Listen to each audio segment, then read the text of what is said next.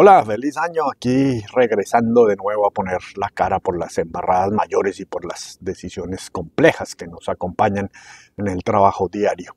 Eh, estuve unos días sí, de vacaciones y lo más desconectado posible, pero bueno, alcancé a notar con la ayuda de ustedes, claro, algunas de las torpezas dignas de estar en esta sección. Pero comencemos con los hechos en Washington que marcaron la última semana y que nos dejaron un jalón de orejas interesante en todo este debate por la decisión de Facebook y de Twitter de suspenderle sus cuentas al presidente Trump. Entre quienes salieron a vociferar argumentando que se trataba de un ataque a la libertad de expresión, eh, pues estuvieron sus fervientes seguidores y apoyadores en Colombia titulamos ese registro Uribismo salió en defensa de la libertad de expresión de Donald Trump. El jalón de orejas de arroba Fernapava es sutil, pero me parece bastante válido. Eh, sí le creo a ni te creo, que es como él mismo se autonombra, eh, que quedaba mucho mejor y mucho más preciso. Uribismo salió en defensa de Trump, eh, alegando que se coartó su libertad de expresión.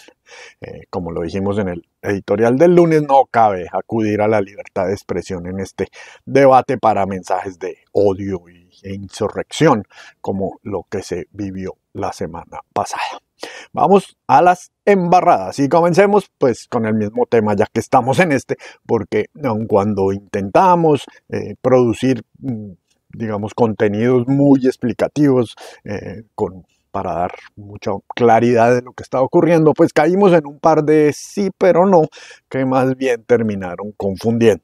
La primera fue al explicar los orígenes y la historia de la enmienda 25, que todavía ahorita al grabar esta sección, pues todavía se considera que se puede aplicar para retirar a Trump de la presidencia. Pues dijimos en un mismo párrafo que se ha usado en algunos casos y luego que no se ha usado nunca. Al fin que, se preguntó con razón arroba Moniquita Pardo en su jalón de orejas. Bueno, el se ha usado venía después de voluntariamente. Y eso pues hacía toda la diferencia, pues en esos casos eh, fueron los propios presidentes los que la invocaron y acudieron al Congreso. Eh, lo que no ha sucedido es pues lo que se plantea ahora para eh, Trump y es que el vicepresidente y el gabinete sean quienes, sean quienes lo invoquen. Eh, pero claro, faltó explicarlo bien. El otro sí, pero no, eh, lo pescó arroba usa cabeza en la noticia del anuncio de Trump de que no iba a asistir a la posesión del presidente electo Joe Biden. Allí tuvimos el desliz de decir en la propia noticia que informaba que no iba a ir, que ya había anunciado que sí iba a ir. El mundo al revés. Y para seguir con los muchachos de Internacional, pues todavía no me explico en qué momento pudimos encargar al ministro de Salud de Chile del manejo del COVID en Francia. Quizás sea porque su nombre es Enrique París, pero no entiendo cómo unas declaraciones suyas terminaron metidas en una nota sobre el COVID en Francia. Y además identificado él, Enrique París, como el ministro de Salud francés.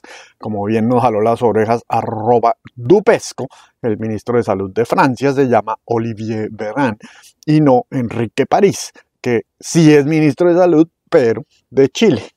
¿Qué creen que pudo haber pasado ahí? No, yo no entiendo.